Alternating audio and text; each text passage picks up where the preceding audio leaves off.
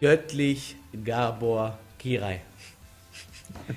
Meine lieben Freunde, ihr wisst gar nicht, wie sehr ich diesem Mann den Einzug ins Achtelfinale gönne. Gabor Kirai, göttlich im Übrigen auch gerade in diesem äh, Trainingsfenster vor jedem Spiel, hatte der seine Jogginghose an. Hat den nicht immer an? Ich weiß nicht. Ich meine, in den letzten Spielen, die ich mit Ungarn gespielt habe, hat er sie nicht gehabt. Ich bin mir nicht sicher. Aber wir werden es gleich erfahren. Herzlich willkommen zu Ungarn gegen Belgien, meine lieben Freunde. Hi. Und hallo Zero. Guten Tag. Na, Ja, na, du hast jetzt Belgien und du müsstest jetzt eigentlich. Ja, da hat er doch die Jogginghose. Göttlich. geil. Göttlich der Junge. Ähm, Alter, ohne Scheiß, ne? Ich bin ganz großer Befürworter der Ungarn. Ich sage, wenn die Belgien schlagen, Instant Weltmeister. Finale. Achso. Weltmeister, äh, Weltmeister vor allem. Jetzt hat er's gerafft. Ähm, ja, Instant Weltmeister, klar, nee, in zwei Jahren. Ähm, nein, wenn die Belgien schlagen, dann sind die auf jeden Fall mal safe im Finale, sage ich. Das ist eine Ansage. Da, dazu müssten sie zwar die Polen auch noch im Halbfinale schlagen, aber ich glaube, wenn die Belgien Einfacher jetzt als packen, Belgien. Behaupte ich. dann, dann schaffen die das auch. Ja, Belgien, du hast gesagt, du bist so ganz großer Befürworter der Belgier. Ich hatte die erst gar nicht auf dem Schirm und dann habe ich die Mannschaft gesehen, beziehungsweise den Kader. Und dann habe ich gedacht, oh, die können was. Ja, Okay. seitdem, ja, guck mal, Hazard, De Bruyne, das ist doch, also, großer Fan von. Ja, der Kader ist ja auch ziemlich stark. Und ich sage, Na! Gott. und ich sage immer noch overrated. Oh. Und ich hoffe, dass die Ungarn das beweisen werden. Ähm, wie gesagt, ich möchte hier jetzt nicht als Anti-Belgien-Typ dastehen. Ich sage halt einfach nur, dass ich das von allen Hypes und etc. einfach nur als überbewertet empfinde. Und äh, die Ungarn kommen aus dem Nichts. Äh, damit hat keiner gerechnet. Sie sind Gruppensieger geworden. Was absolut crazy ist.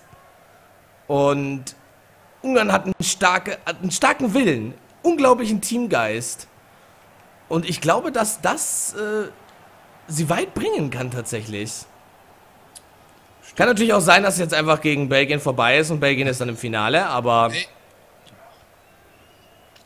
Aber alles in allem rechne ich Ungarn hier verdammt gute Chancen ein.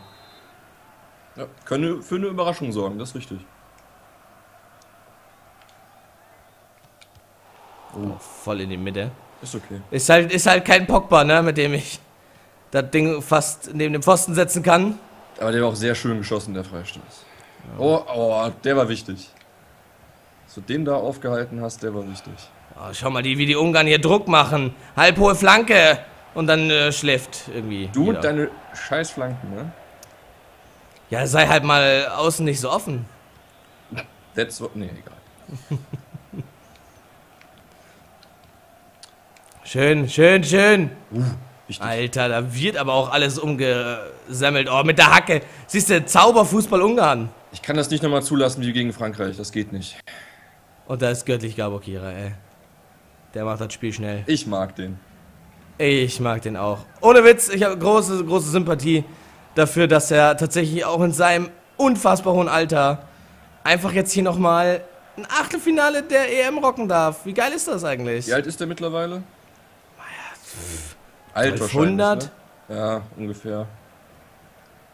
Er und Buffon, ich glaube, die tun sich nicht viel. Da tut sich nicht viel, das stimmt, ja. Aber wie Das gesagt, das ist auch neben Island tatsächlich einfach so, so ganz großartige Überraschungen. Auch von Island erhoffe ich mir sehr viel, dazu komme ich aber dann natürlich zu sprechen, wenn es soweit ist! Latte und Mr. Aluminium hat schon wieder angerufen. Oh mein Gott. Die Ungarn machen so einen Druck. Und da ist der Lukaku. Ja. Da immer am letzten hängen, das ist echt bewegt einfach nichts. nicht gut. Und ich habe auch diesen Willen, den die Ungarn nämlich tatsächlich haben, diesen Kampfgeist, diesen, Boah. diesen Willen zu gewinnen, weil wir Underdog sind. Und den müssen sie einfach, die müssen einfach genau das mitbringen. Ich meine, klar, das ist nochmal eine ganz andere Schiene jetzt. Ich meine, rückblickend betrachtet war die Gruppe für Ungarn ja noch nicht mal schwer, weil Portugal kann nichts, Österreich war der Reinfall des Jahres. Äh, und Island ist Island. Wie die dann natürlich gegen jemanden wie Belgien jetzt spielen, das ist dann nochmal ein ganz anderes Thema. Ja, komm, Geld muss jetzt aber auch echt nicht geben, Mann. Ist okay. Aber ich, ich traue es denen auf jeden Fall zu. Ja. Wie gesagt, das kann echt eine Überraschung werden mit denen. So, spiel ich denn hin? Aber ich werde jetzt erstmal hier gewinnen kurz. um dich von deinem hohen Roster runterzuholen. Und weil du mir einfach zu viel Druck machst. Ich sitze äh, maximal auf einem ungarischen Ross. Ach, sind die nicht hoch? Weiß ich nicht.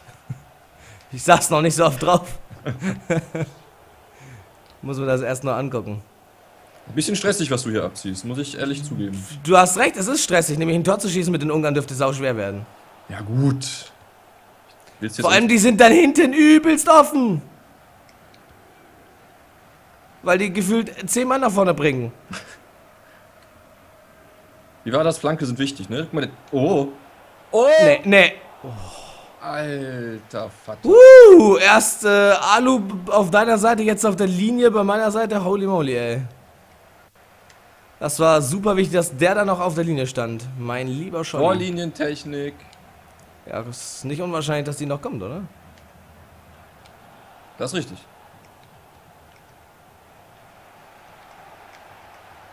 Uh. Ah.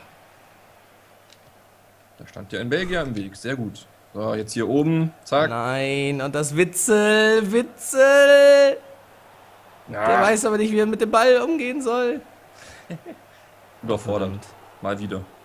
Mal wieder, ne? Oh, gehen wir wieder mit einem typischen. Ne, diesmal nicht. Äh, stimmt gar nicht. Wir sind ja nicht Schon immer. wieder. Halbzeit. Was geht denn hier ab? Ja, es schnell. geht voll schnell, gell? Geht aber schnell hier. Oh. Oh, da macht er einen Hallo, Fehler, da macht er einen hallo, Fehler. Hallo. Ah, Ecke, Nicht- Ecke! Nein, nein, Der war nein. draußen. Quatsch, der war genauso Ecke, wie der Ball gerade auf der Linie war. Doch jetzt, ah, da macht er den Ausfallschritt und dann das hätte ich irgendwie nutzen sollen. Ja. Ich spüre Okay. Druck.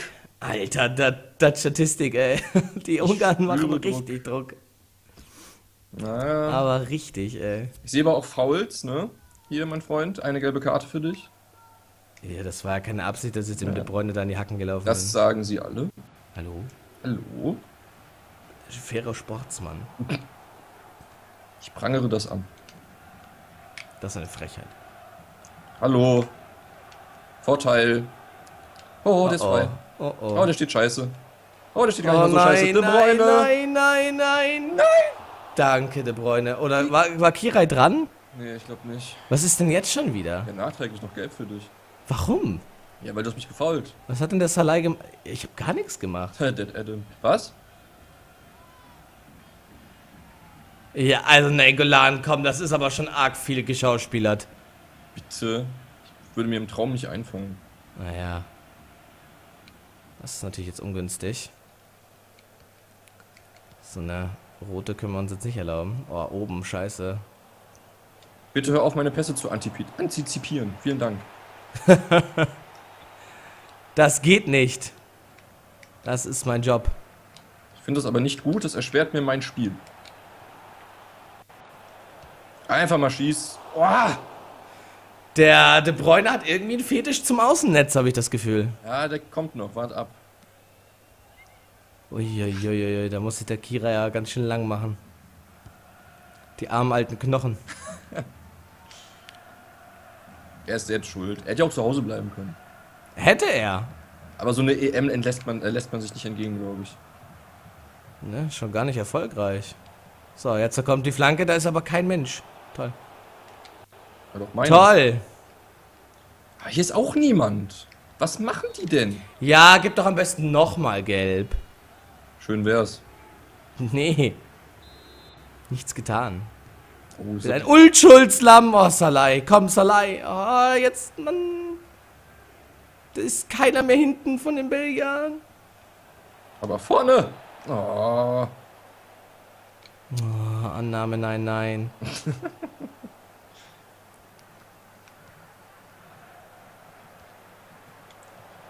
Göttlich Kirai. Ich krieg den noch da rein. Ich Niemals. weiß nicht wie, aber ich krieg den noch da rein. Kirai bleibt. Ja, sauber. Auch, irgendwann musst du auch mal hinter sich fassen. Aber nicht heute. Abwarten. Also in echt schon, aber. Guck mal hier, da steht nichts. Du stehst einfach viel zu kompakt. Das ist unglaublich. Ich arbeite dran. Ich wäre mit einem und ich das eigentlich nicht möglich ist, glücklich. okay, Wechsel. Wir sind alle etwas müde. Oh Mann, Mann, Mann. Ah, okay, eins bewahre ich mir mal noch auf. Mal nur Zweierwechsel. Hier steht noch zu viel auf dem Spiel. Huch, kratzen und auf weiter drücken ist äh, nicht gut. Gar nicht mal so clever, wa? Ja. Komm, Salai, deine letzte Chance. Du fliegst nämlich raus. Der Arme. Ja, hat das Gelb vorbelastet. Uh. Schöne Grätsche. Da muss man schon mal ein bisschen aufpassen. Und da geht er. Ach, der Ja. Stieber kommt. Ja, der Sultan. Stark. Unglaublich. Ich glaube, ja, nee. Doch, komm. Ja, nee. Nee, was? Oh, der Kevin De Bruyne, der will das Tor aber auch gefühlt. Ich komme trotzdem nicht durch. Nee. Scheiße, da sollte er nicht hin. Oh, Gut, sehr gut, sehr gut, sehr gut, sehr gut. So, mal ganz außen. Nikolic. Ach Mann, ey. Abwehr steht. Abwehr steht. Ja, das Schlimme ist, dass halt auch noch ein überragender Keeper mit Courtois da hinten. Also, das macht das nicht leichter. Das ist richtig.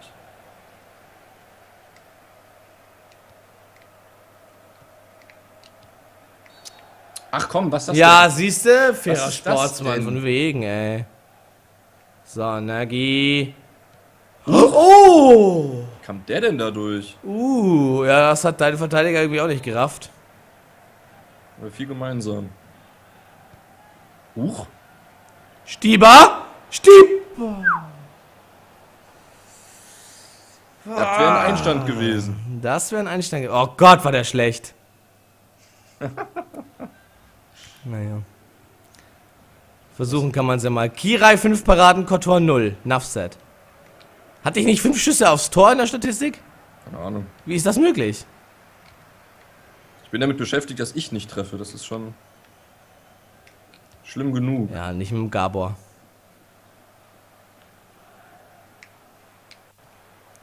Oh nee, nee, nee. Nengolan! Göttlich Gabor Kirai! Der Junge, ey. Aber schön geschossen. Ja, schön geschossen. Hat's und sehr schön gehalten.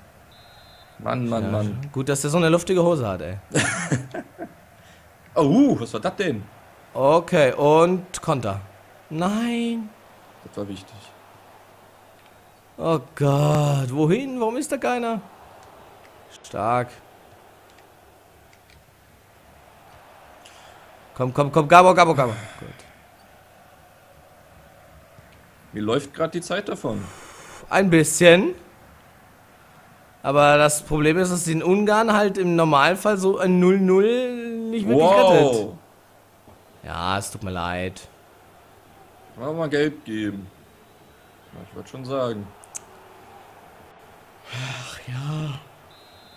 So, und jetzt Kevin De Bruyne, 35 Meter Traumtor. Den wollte ich eigentlich drehen, aber irgendwie habe ich das ver versemmelt. Ein bisschen, glaube ich. So, warum sind da so viele schwarze Belgier auf der Welt? Nicht rassistisch, bitte. Hallo? Schwarz-Weiße? Nee, nee, nee, nee. Ich krieg vielleicht nix hin, aber dass ich das 90 Minuten hinten halte, ist auch schon fast eine Leistung. Stark, stark. Oh, das ist, glaube ich, zu scharf. Ah, warte, warte, warte. Ja. Nein! Gib doch da mal einen Freistoß nochmal. Ja, kriege ich, danke. Ach, komm. Das war eine faire Grätsche doch gerade. Du hast mich umgehauen. Ja, eben, aber nicht da vorne, da hinten. Vier Minuten Nachspielzeit. Ist da noch was möglich? Na, ich befürchte nicht. Ach, was sind das denn für Bälle, Alter? Ja. Oh mein Gott! Oh mein Gott! Oh mein Gott! Komm! Nee! Oh, wie kann man das nur so verkacken? Oh, wie kann man das nur so verkacken? Scheiße! Bin für ein Wiederholungsspiel. Mann. Immerhin feiern meine Belgier gerade, als hätten sie gewonnen. Ich hab grad, war so nervös, dass ich die Chance hatte, dass ich nicht mache, wusste, was ich mache. Lup- Lupfen, vorbei, draufhauen. Sehr gut. Ah, scheiße. Ach Gott. Das wär's gewesen. Das wär's gewesen. Na, Jetzt haben wir wirklich vier von unseren drei Matches unentschieden gespielt. Das tut mir wahnsinnig leid, Vier von unseren drei Freunde. Matches. Äh, drei von unseren vier, hast du leid. Ich bin durch, zu viel unentschieden, ey. Krass. Ja, das war, stand echt nicht auf meinem Zettel, aber dann kann man ja quasi sagen, aus dieser Vierer-Serie hatten wir immerhin einen Sieg. Dankeschön. Ich glaube, wir tun uns nicht viel, habe ich das Gefühl. Es ist, es ist verrückt. Ah. Es ist verrückt. Überrascht mich, dass du das jetzt mit Belgien nicht hingekriegt hast. Krass, guck mal, Ballbesitz. Ja, es war ziemlich gleich, ne? 50-50. 6 zu 4 Tore. 9 zu 8 Schüsse. Das war hatte zwei Paraden, Kirai bester Mann. Mit acht Paraden, sehr, sehr geil. Wie auch immer, ne? Ich habe sechs Schüsse aufs Tor gehabt, äh, Courtois hatte zwei Paraden, du hattest vier Schüsse aufs Tor, Kirai hat acht Paraden. ja, ja, lo- ja, gut. FIFA, da ist alles möglich. ne, Da ist alles möglich. Ah. Ja gut, Mensch, dann war es das für unsere äh, Vierer-Serie hier im Achtelfinale der EM 2016. Serus, war sehr schön, dass du da warst. Hat mich sehr gefreut, dass wir was zusammen gemacht haben. Ich fand es auch sehr schön, dass ich äh, mitmachen durfte. Hat sehr viel Spaß gemacht. Und äh, wir sehen uns dann quasi zu den acht, anderen Achtelfinalpartien. Die gibt es dann wieder mit einem neuen alten Gast. Und ja, viel Spaß bei den weiteren Achtelfinalspielen. Wir sehen uns. Tschüss. Tschüss.